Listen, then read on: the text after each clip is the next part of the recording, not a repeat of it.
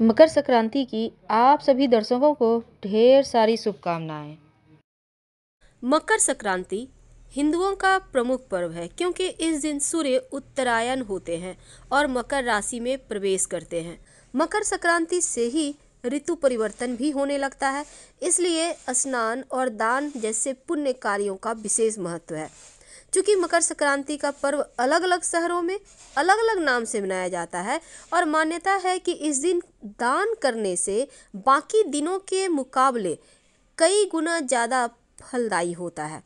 तो इस दिन सूर्य अपने पुत्र शनिदेव से मिलते हैं और शुक्र का उदय भी मकर संक्रांति पर ही होता है और इसी वजह से मकर संक्रांति से सभी कार्य शुरू हो जाते हैं।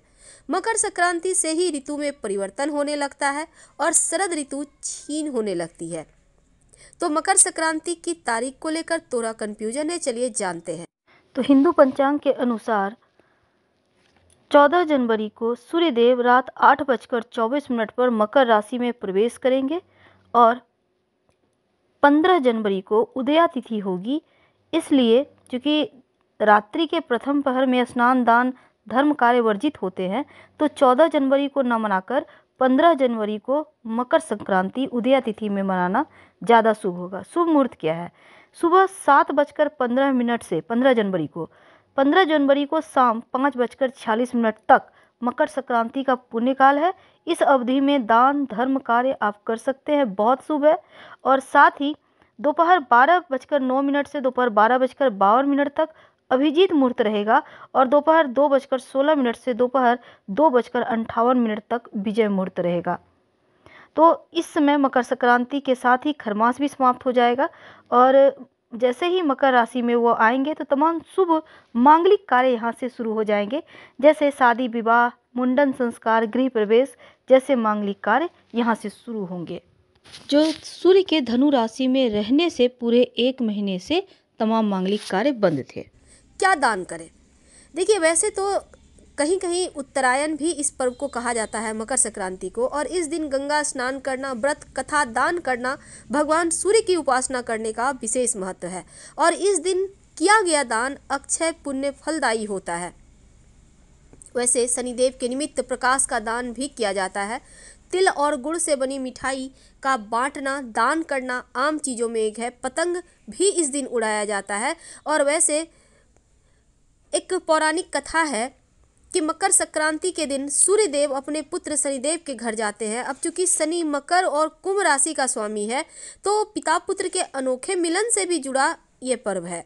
एक कथा के अनुसार असुरों पर भगवान विष्णु की विजय के तौर पर भी मकर संक्रांति मनाई जाती है, क्योंकि बताया जाता है कि मकर संक्रांति के दिन भगवान विष्णु ने पृथ्वी लोक पर असुरों का संहार कर उनके सिरों को काटकर मंदरा पर्वत पर गाड़ दिया था और तभी से भगवान विष्णु की इस जीत को मकर संक्रांति के पर्व के तौर पर मनाया जाने लगा।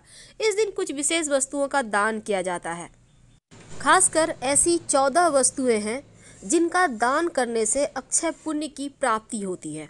तो चलिए जानते हैं विस्तार से। पहला है तिल।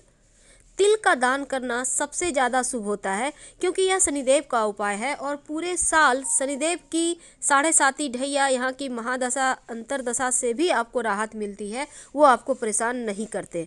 गुड़। गुड़ का दान करना अति शुभ है, क्योंकि ये सूर्य का उपाय है। तो सूर्य से संबंध रखता है गुड़ इसका दान करने से आपका सूर्य बेहतर होता है। खिचड़ी का दान करना इस दिन सबसे ज़्यादा शुभ माना जाता है। तो इस दिन आप खिचड़ी का भी दान कर सकते हैं। कंबल, एक बात और याद रखिएगा, खिचड़ी जो बनाइएगा उसमें काली उड़द ज़रूर डालिएगा। कंबल का दान करना शुभ होता है, ये राहु और शनि का उपाय है। घी घी का दान करने से करियर में सफलता मिलती है और मोक्ष की प्राप्ति होती है, यह शुक्र का उपाय है। गाय को हरा चारा ज़रूर खिलाइए। यह बुध और शुक्र दोनों का ही बेहतर करने का उपाय है। तेल। तेल का दान करना इस दिन बहुत ज़्यादा शुभ माना जाता है, क्योंकि तेल का दान करने से आपका शनि पूरे साल बेहतर फल देता है। और इस दिन गाय के निमित्त चारा के साथ गाय भी दान करने का विधान है। अगर संभव हो तो आप गाय का दान कर सकते हैं। वैसे सीधा, यानी कि किसी पुजारी को गुड़, आटा, घी, नमक, शक्कर वगैरह दे सकते हैं। रेवड़ी। और नमक। नमक का नया पैकेट लाकर भी आप दान कर दें तो इससे शुक्र बेहतर होता है। अनाज। पाँच तरह के अनाज को दान करने से पुण्य भी प्राप्त होता है और हर ग्रह की जो अनुकूलता है वो प्राप्त होती है। नए वस्त्र। आप ज़रूरतमंद गरीब लोगों को नए वस्त्र या ऊनी कंबल वगैरह दान कर सकते हैं। तो मकर संक्रांति के पावन अवसर पर गाय को ऐसा क्या खिलाएँ कि जीवन में सुख समृद्धि, मान सम्मान, यश, धन, दौलत सब बढ़ता चला जाए? देखिए, मकर संक्रांति के दिन वैसे तो खिचड़ी खाने की परंपरा है बहुत पुराने समय से, और मूंग के दाल से बनी खिचड़ी खाने की ज़्यादा विधान है। हालाँकि काली उड़द के भी खिचड़ी खाए जाते हैं, और खिचड़ी आप जैसे कि काली उड़द थोड़ा सा अवॉइड करना चाहिए क्योंकि बॉडी में पेन होता है उसको ज़्यादा खाने से। इसलिए आप मूंग के दाल से खिचड़ी बनाएँ और उसमें दो चार दाने काली उड़द के डाल दीजिएगा एक नियम को फॉलो करने के लिए, ठीक है? अब ये खिचड़ी आप खुद खाने से पहले गाय को ज़रूर खिलाइए। और इसमें जब खिचड़ी को गाय खा रही हो तो गाय के मुख में जो चावल का दाना लग जाता है ना तो एक दाना कम से कम गाय के मुख में लगे हुए जो हैं, उसको लेकर घर आ जाइए। और उस दाना को सुखाकर संभाल कर लाल कपड़े में बाँध कर रख दें। धन धान्य की वृद्धि होती है। मकर संक्रांति के दिन वैसे तो गंगा, यमुना, गोदावरी, कृष्णा, कावेरी, सिप्रा, नर्मदा नदी में स्नान करने का विधान है। तमाम तरह के अनुष्ठान किए जाते हैं ताकि पुनर्जन्म के दुष्चक्र से मोक्ष को प्राप्त कर सके। तो मकर संक्रांति के दिन आप दान भी करेंगे और गाय को जो आपने खिचड़ी खिलाया इसका महिमा बहुत है। वैसे तो आप के मान लेते हैं, अब आपके लिए संभव नहीं है खिचड़ी खिलाना।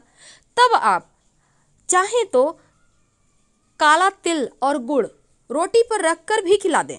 हालाँकि इस दिन खिचड़ी खाने की परंपरा है, इसलिए खिचड़ी ही खिलाई जाती है। नहीं, कुछ तो हरा का चारा ही खिला दें। कहने का तात्पर्य, गाय को ज़रूर खिलाएँ। जो आपसे बन पड़े, वही खिलाएँ। लेकिन अगर जिस नियम के बारे में हमने आपको बताया, उस नियम को आप फॉलो करते हैं, यकीन मानिए, अन्य साल की अपेक्षा, ये साल ज़्यादा धन से आपका घर भरा रहेगा। एक खास बात देखिए, मकर संक्रांति के दिन तिल के तेल की मालिश ज़रूर करना चाहिए। और मकर संक्रांति के दिन तिल का उपटल लगाकर नहाते हैं तो शरीर कांतिमान बनता है और व्यक्तित्व में निखार आता है। अगर आप पवित्र नदी सरोवर में स्नान करते हैं, ये सबसे ज़्यादा शुभ माना जाता है। अगर पवित्र नदी सरोवर में नहाना संभव ना हो तो घर में ही नहाने के पानी में गंगा जल डालकर स्नान करें। सुख सौभाग्य और श्री की प्राप्ति के लिए पूजा के बाद तिल से हवन कर सकते हैं और इस दिन तिल से बने खाद्य पदार्थ का सेवन ज़रूर करें।